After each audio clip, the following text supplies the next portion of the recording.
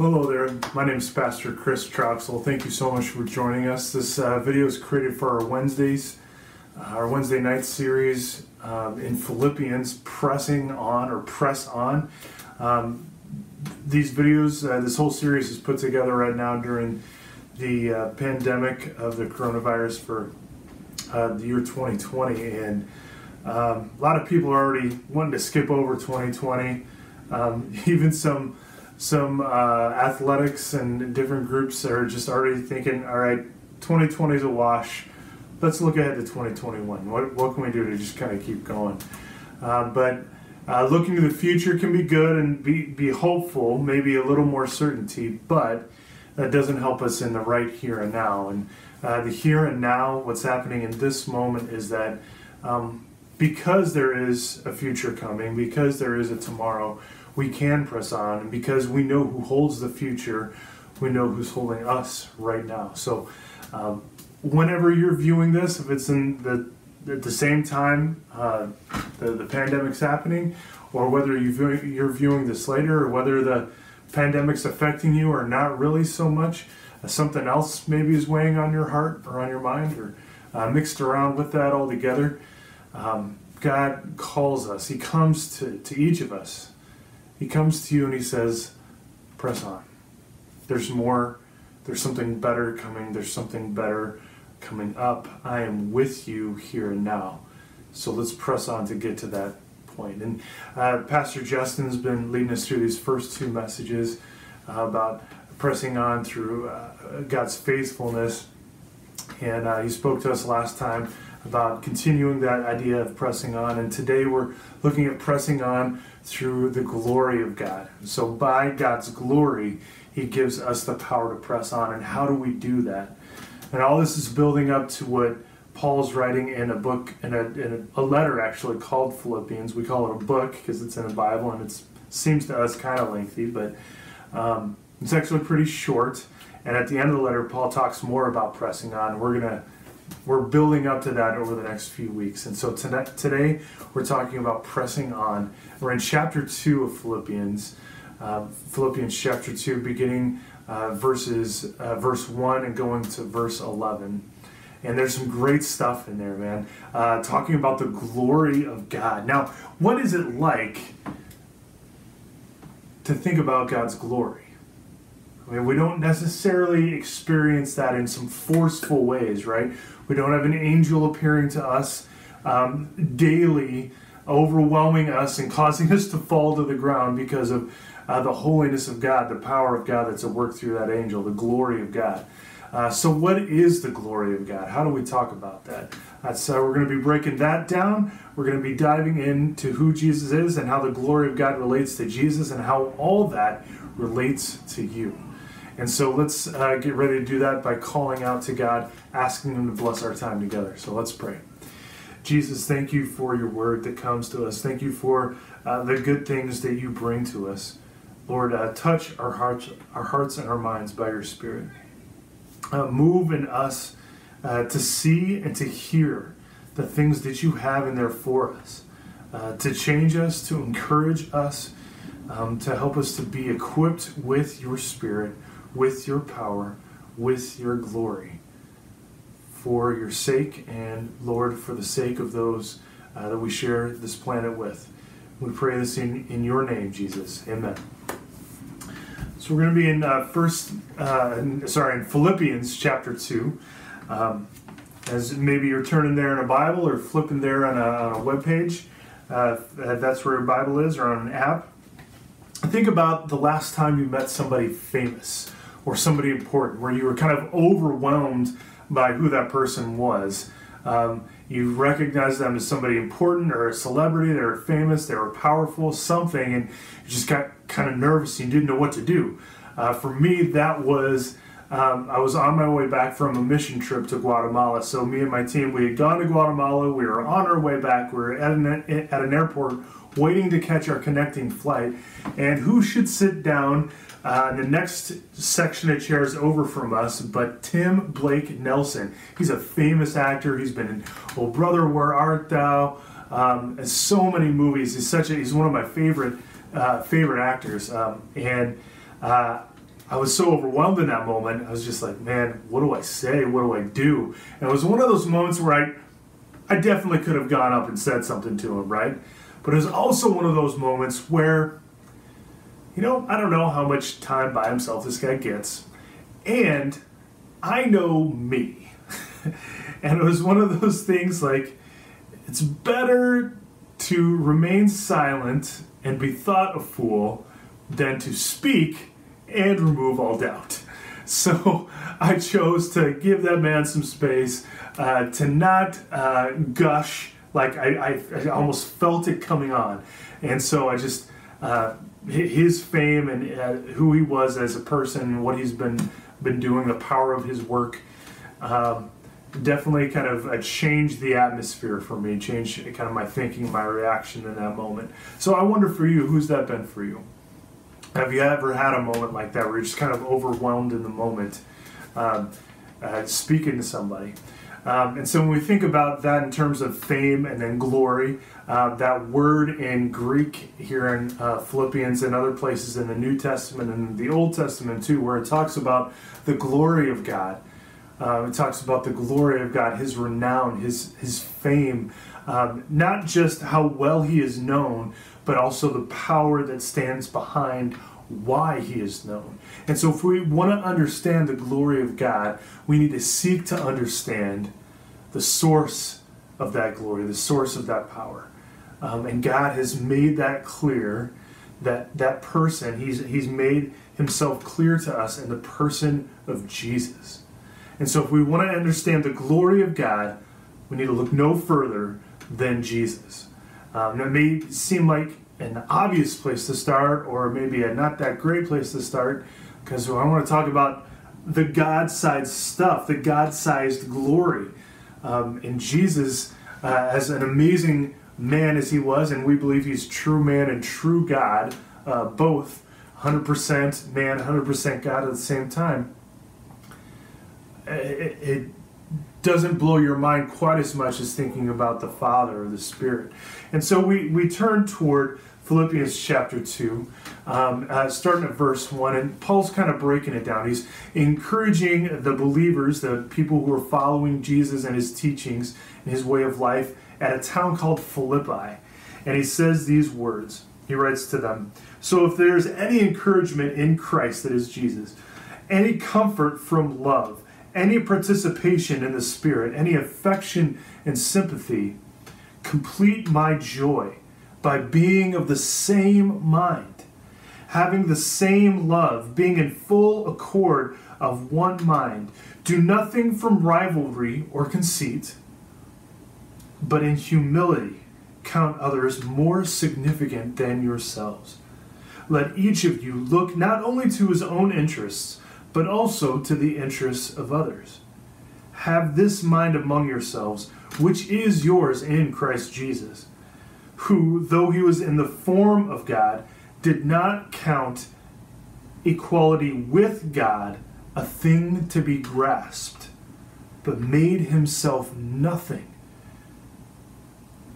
taking the very form of a, servant, of a servant being born in the likeness of men and being found in human form, he humbled, humbled himself by becoming obedient to the point of death, even death on a cross. Therefore, God has highly exalted him and bestowed on him the name that is above every name, so that the name of Jesus every knee should bow in heaven and on earth and under the earth, and every tongue confess that Jesus Christ is Lord to the glory of God the Father. And that is why we're talking about glory today. And that's why we're talking and looking at the person of Jesus. Everything that Paul wrote about there, describing who Jesus is, describing what he's done. Uh, these things are so important uh, for us to grasp. And so, this isn't the only place you'll hear uh, Paul talking about Jesus and what he's done. Uh, you'll hear that in each of the books that he writes, each of the, each of the letters he writes, to make sure that uh, the, the believers he's writing to encourage and teach grasp different perspectives on what it means to know Jesus, what it means to love and follow Jesus. And so uh, we look to these words too. Um, gleaning from this some words from Paul that help us press on. So I want to start first by that word, by that phrase, Jesus Christ. Even just maybe expanding the phrase a little, Jesus Christ is Lord. So let's take a look at that. Jesus Christ is Lord. It's in verse 11. And that phrase, Jesus Christ is Lord, that's a powerful phrase. It's a statement of faith, actually. It's an early form of a creed, right? It, in those three words, four words, Jesus Christ is Lord, it tells you everything you need to know. Um, so the, the two words taken together, sometimes in, in other languages, there's a bit of shorthand. And so, like we use the word is between words, some other languages don't use that. Greek is one of those. And so, when you sometimes you're reading words together um, and it says uh, Jesus Christ, uh, sometimes it's confessing, it's saying Jesus is the Christ right? Jesus is the Christ. No, it can definitely express each of those words, maybe uh, for emphasis. But uh, if that's not the main point and it's building to something else, uh, Paul's building to something else in this case. Uh, sometimes he'll just smush that together to to take what the purpose is on that statement about Jesus and transfer the attention to where it should be. What else is it saying about the fact that Jesus Christ is Lord in this case. So Jesus is the Christ. Jesus is the Messiah. He's the chosen one. He is the anointed one. He is the one God chose, the one God selected and sent to be for you, to, to live his life for you, to, to die his death for you, and to rise from the dead for you. Jesus is for you. Jesus is the Christ. And now we take that with the next part of that phrase Jesus Christ is Lord. Who knew there was so much packed in four words, right? Um, but Jesus Christ. So Jesus is the Christ and he is Lord, meaning there is no one uh, above him. There is no one on the same level as him. Even as we learn to follow Jesus and he takes us one day to be with him where he is, we're still always going to be creator, Jesus, Savior, God, and humans, right? And so Jesus doesn't make us God like him. He does take us to be with him, though. So he is our friend. He is human like us for sure, but he's also God. And so there will always be that distinction between us and Jesus. And, and so there's no one equal, there's no one greater than Jesus. He's it.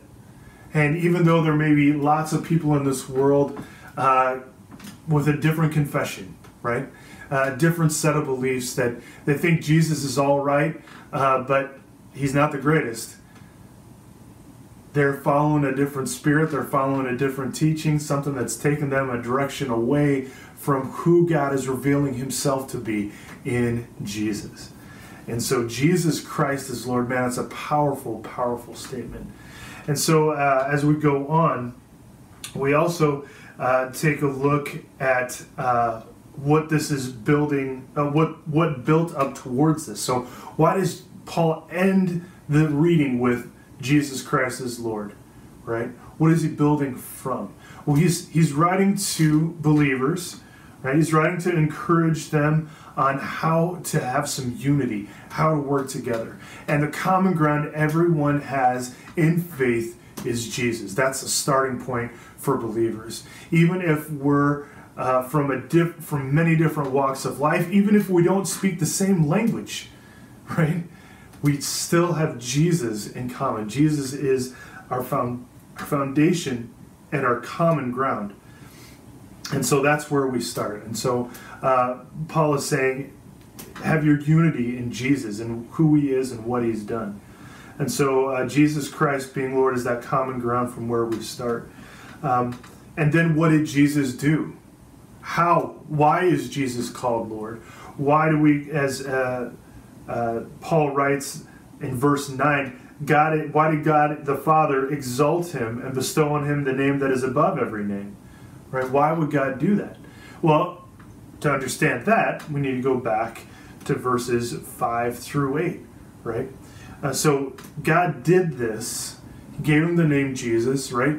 even before he was born, right? He sent the angel to, to, Joseph. We hear this account in Matthew um, early on, chapter 2. Um, we hear the account of the angel uh, going to Joseph and saying, uh, Name him Jesus, because name your, your soon to be son Jesus, because he will save his people from their sins. And why do we do that? Because of what Paul wrote about, what Paul knows, what he, he knows about Jesus. Jesus, is the one who appeared to him on the road uh, to Damascus. Jesus, is the one that changed him from being one who persecutes the followers of Jesus and into becoming one of their greatest servants, one of their greatest missionaries, one of his biggest advocates, one of his uh, most central witnesses in terms of what he's written and the writings we still have. And his writings that were circulated to so many churches uh, across that region, but then also across time. How many people have read this story and been encouraged in faith over the last 2,000 years? They were reading these words too. And so, what did Jesus do? Verse 5. Uh, towards the end of verse 5 into verse 6, actually. Uh, who is Jesus, who though he was in the form of God, did not count equality with God something to be grasped, right? He was in nature God, but he didn't come to earth to flaunt his godness, right? He didn't want to come here and prove who he was. He didn't come here with an argumentation or an apologetic to convince people and argue with them about who he was. His apologetic was love. Uh, the thing that he did to speak to people was to be present with them and he didn't consider anyone too good or too dirty. He didn't consider people too far or too close. He came to be with people, and those who thought they were doing the Lord's work and were getting it wrong, he brought them correction. They didn't necessarily want it, but he brought that correction. And to those who were crushed, to those who were repentant, those who were feeling the weight and sorry for their sins, he brought relief. He brought grace. He brought new life for them. This is what Jesus did. He didn't consider equality with God something to be grasped, but instead, he, he taking the form of a servant, he humbled himself, right? So, taking the form of a servant, that's where it starts. He became, he was born in human likeness at the end of verse 7 there. So, took the role of a servant and among the servants of people, he took a lower form. He humbled himself even more. And being found in human form, he humbled himself by becoming obedient to death. So even though the rules of death didn't apply to Jesus, he submitted himself to those rules, to the rule of death. Why would Jesus do that? For you. Jesus does this for you. He leaves heaven, He leaves the Father for you. He humbles Himself for you. He humbles Himself to the point of death for you. And in death, even the worst kind of death, death on a cross. That's what Jesus does. That's who He is. And that's what he that's what he's done for you. And this is why we get to verse 9 why God has highly exalted him and bestowed on him the name, the name that is above every name. And why is Jesus' name greater than any ever, every other name? Because no other name has done this. No other person has done this work for you. It's all Jesus for you. It's all Jesus for you. And so now, so we've gone over kind of what glory is in general. It's fame, it's power, it's stuff that uh, goes with a person into a situation. We understand who that is in the person of Christ and why he's glorified, right? Uh, this, this kind of great reversal, right? Somebody who's the most humble being in the face of the earth, submitting himself even to death, even the worst form of death, flips that around, redefines it all. Instead of being a horrible, shameful death, becomes a symbol and a teaching for hope for the world across time to the glory of God the Father. Here's where we got we get back to glory. So at the name of Jesus, verse 10, every knee should bow in heaven and on earth and under the earth. That means everyone dead, everyone living, everyone who's going to be alive, everyone who ever has lived, every tongue will confess that what? What's the creed? What's the statement of faith? Jesus Christ is Lord. Jesus Christ is Lord. No one can say Jesus is Christ, Jesus Christ is Lord except by the Spirit. You can't say that. You cannot say that statement of faith unless God's Spirit is at work in you. It's this foreign, this, uh, this uh, theologians call it sometimes this alien work, right? This foreign work of God in us, a work that's outside ourselves. God comes in and does that and teaches us what we can never do on our own. He teaches us to confess with our whole heart, with our mind, with all our strength that Jesus Christ is Lord. And He teaches us to do that with our whole life. Jesus Christ. Jesus is the Christ, and He is Lord. And so it's this glorious presence among us that changes everything. The people in the Old Testament knew this. The people in the New Testament knew this.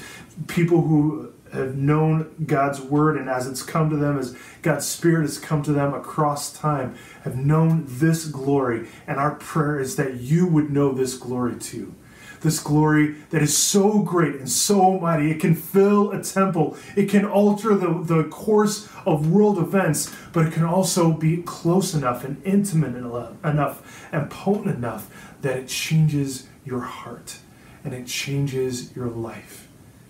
That is the glory of God at work in the person of Jesus. I want to uh, end our, our time together with this thought that uh, from Second Corinthians, another letter Paul wrote, uh, chapter 4, verse 16, talking about God's glory here in chapter 4 as well to another group of believers called Corinthians. And he writes these words to encourage them through some hardship they're going through, so some difficult times they're going through. But again, that focus on the future, that what we're experiencing right now is not it. It's not all there is. There's more. There's something better coming. And so Paul writes these words 2 Corinthians chapter 4, beginning of verse 16. He says, So we do not lose heart. Though our outer self is wasting away, our bodies, the world around us, our inner self is being renewed day by day. For the slight momentary affliction, though it may not seem that way to us now, and the persecution, the suffering that God's church was going through at the time was not uh, insignificant or, or uh, light, but it will seem light and momentary, right? It's preparing for us an eternal weight of glory beyond all comparison as we look not to the things that are seen, right?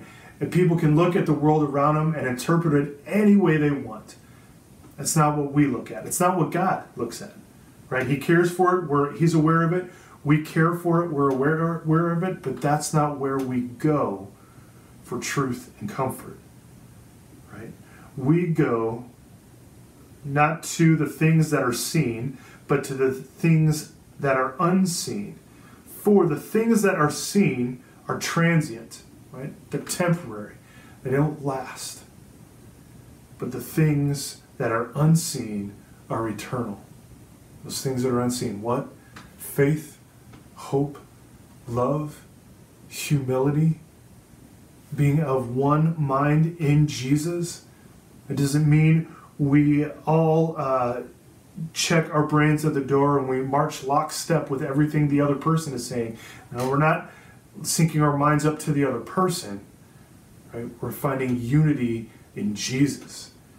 This guy changes our hearts. He teaches us about humility. He teaches us about forgiveness, about serving one another, about giving up your life, laying your life down for another. Now, Jesus already gets all the glory, so it's not about that. But it is about knowing that Jesus loves you, how that changes you. It can change how you live, even in the midst of, of a pandemic. So may Jesus continue to bless you through his word. May he continue to grow faith in you uh, as you learn about his glory and everything else that he gives you to help you press on. In his name. Amen.